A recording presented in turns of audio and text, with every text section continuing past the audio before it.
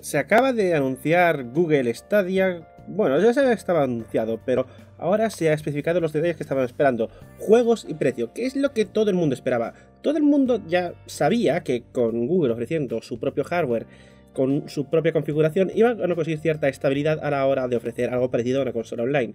Y la verdad es que me ha parecido hasta relativamente barato para lo que ofrecen. Eh, teniendo en cuenta de que los juegos van a costar menos, según dicen, eso cambia mucho. Estamos hablando de que cualquier persona tiene ya una consola Stadia. Cualquier persona con una cuenta de Gmail ya tiene una consola Stadia. Cualquiera que utilice Chrome o tenga un Chromecast o un televisión inteligente ya tiene acceso a Stadia. Es la forma más fácil que han conseguido de hacer una consola que sea accesible a todos. Y no solamente que sea una consola buena, es que estamos hablando de que tiene una calidad similar a la de un PC gaming. Evidentemente siempre habrá quien quiera mantener su propio PC gaming para sus propias funciones, pero estamos hablando de que van a buscar a gente que simplemente quiera lo como una consola, pero sin tener que necesitar una consola. Eso puede generar un nuevo mercado que es brutal. Estamos hablando de miles de millones de personas con Chrome. Estamos hablando de gente que tiene un televisor inteligente ya y que simplemente quiere una nueva consola. Estamos hablando de gente puede utilizar Google Chrome y simplemente es eso, que utiliza Google Chrome. Así que estamos hablando de una posible revolución, especialmente con el precio que ha anunciado, que es que para tener Google Stadia no hace falta pagar a partir de 2020. Estamos hablando de que tendrás acceso a una consola en la nube totalmente gratis.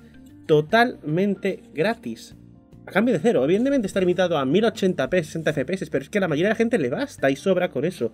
Es una caridad bastante competente para muchos juegos. Y quien diga lo contrario es que miente o está obsesionado con los, frames. Y evidentemente, pues, si tú buscas 240 fps y tal, habrá ordenadores gaming para ti, te lo montas tú. Y si tú quieres algún exclusivo de consola, tendrás tu consola. Ahora falta por ver qué harán Sony y Microsoft al respecto de consolas en streaming porque todo apunta de que vamos a seguir por ese paso. Esto permitiría acceso a mucha gente a juegos de relativa calidad, mucha gente que no quiere comprarse un PC muy potente, pero quiere aún así jugar en buena calidad. Estamos hablando de que Google Stadia va a depender muchísimo de los juegos que tenga, que ya son 31 confirmados, con Destiny 2 siendo el principal, que luego pasará a un free to play, no sé cómo lo van a llevar, pero en general yo lo veo asequible. La gente ya paga por Netflix y estamos hablando de que les darían acceso a un catálogo de juegos relativamente completo, así que este es un buen precio. Pero estamos hablando de que es gratis utilizar Google Stadia a partir de 2020, cuando ya lo abran para todos. Y es posible que haya algún juego free to play que lo aproveche. Sería absurdo no aprovechar que tienes un montón de usuarios que quieren una oportunidad para probar tu plataforma. Así que me parece bien. Ahora queda por ver eh, dos cosas, y tienen que ver con los precios. ¿Cuánto costará un juego en Google Stadia? Porque si cuesta exactamente lo mismo que un juego físico en consola, mucha gente se lo va a considerar varias veces.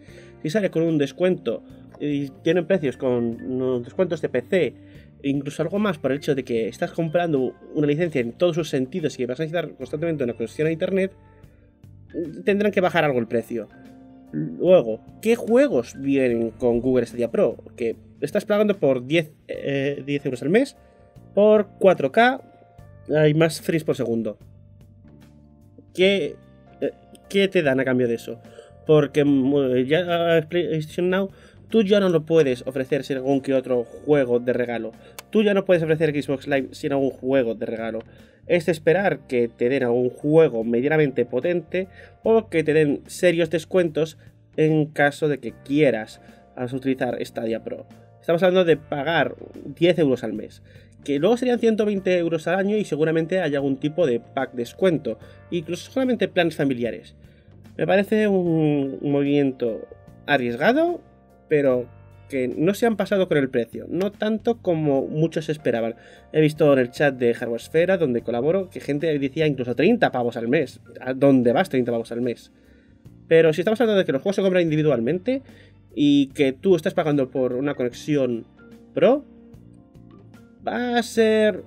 Va a ser interesante. Se avecinan buenos juegos, pero seguirá habiendo gente que quiera comprar una consola, seguirá gente que siga prefiriendo jugar en móviles a sus juegos de móviles, Y habrá gente que vea en el streaming una forma de tener juegos de calidad sin tener que gastar mil y pico pavos en un PC potente. Lo cual acercará bastante los juegos, si bien eh, seguirá haciendo que dependamos de Google. Y eso a mí, como puto rojeras de mierda, pues me da un poco acá, especialmente por el tema de la conservación digital. Pero encontrarán una forma de conseguir eh, revivir ciertos juegos. Seguramente Stadia da para mucho más y seguramente veremos novedades de Google Stadia ya para finales de año porque dicen que saldrá para este año en noviembre eh, con Stadia Pro y en 2020 con Stadia Basic que será el plan gratuito. Así que es posible que veamos algo en el E3 con Stadia. Es posible, sí, es posible. Pero tampoco lo creo demasiado porque acaba de ser anunciado y necesita más tiempo para macerarse. Pero vamos a ir viendo más indies que quieren salir en Stadia, eso segurísimo. Así que, ¿qué opináis? ¿Soy un gilipollas por pensar que Stadia va a resucitar los juegos? Puede ser. Bueno, dejadlo en los comentarios. Muchas gracias por escucharme y hasta la próxima.